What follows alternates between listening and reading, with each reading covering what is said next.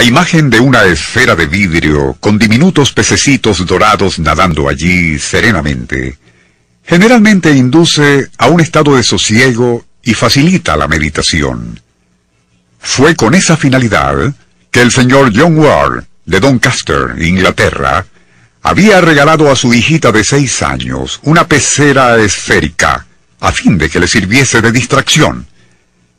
Pero cierta mañana en junio de 1961, los rayos del sol, al incidir directamente sobre el vidrio de aquella esfera, la transformaron en un lente de aumento que al concentrarse sobre una delgada cortina de gasa en la sala, la fueron recalentando a tal punto que comenzaría a quemarse.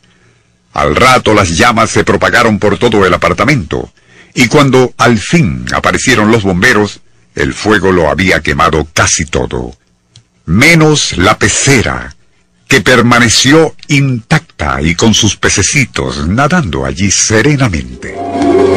Nuestro insólito universo. Cinco minutos recorriendo nuestro mundo sorprendente. Una producción nacional independiente de Rafael Silva. Certificado número 3664.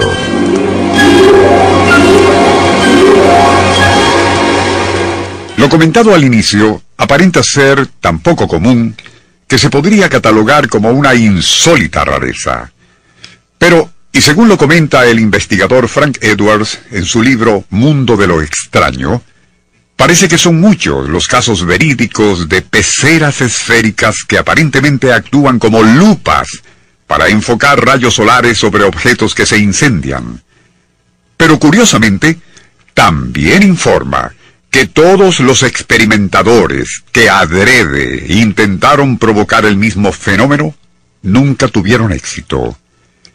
En el capítulo dedicado a esa peculiar fenomenología, Edwards también relata que en el invierno de 1954, la señora Anna Dressler de Houston, Texas, fue sorprendida por un violento estallido proveniente de la sala de su casa.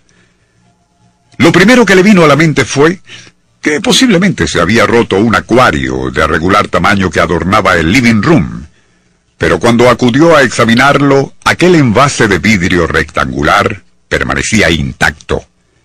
Fue al mirar hacia una repisa cuando contempló asombrada como una pecera esférica de poco tamaño, que si bien no había estallado, presentaba una muy inusual anomalía.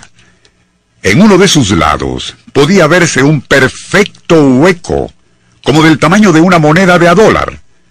Por allí había salido gran parte del agua, así como algunos pececitos. Pero, y en el líquido que aún permanecía por debajo del nivel del hueco en cuestión, otros nadaban tranquilamente. Aquello era tan extraño que la dama solicitó la ayuda de varios expertos, pues, y aparte del orificio en el vidrio, el resto del envase no se había resquebrajado. No menos curioso fue que tampoco se encontró huella de algún proyectil que por lógica debía haberlo perforado, o fragmentos que tendrían que haberse desprendido al formarse el hueco. Como si aquello no hubiese sido suficientemente extraño, los especialistas comprobaron además que el orificio en cuestión se había formado desde adentro del envase hacia afuera, algo que desafiaba toda lógica. Pero aún eso tampoco sería lo más desconcertante, pues a la mañana siguiente, y mientras la señora Dressler y su esposo desayunaban en el comedor, se escuchó otro ruido explosivo. De inmediato acudieron al living room, encontrándose que habían pedazos de vidrio regados por todo el piso, pertenecían a la misma pecera esférica con el extraño hueco en uno de sus lados y que había terminado explotando ruidosamente sin causa aparente. Hasta aquí, lo que hemos relatado no pasaría de ser algo sumamente curioso e incluso inexplicable, aunque intrascendente al fin y al cabo. Pero lo que Frank Edwards terminaría calificando de aspectos paranormales sería que otra pecera esférica que la señora compró para reemplazar la anterior, igualmente estallaría sin causa aparente dos semanas más tarde. Lo mismo ocurrió con otras dos más, hasta que, impresionada por tantas y extrañas coincidencias, Ana Dressler terminaría renunciando a tener más peceras de ningún tipo en su casa.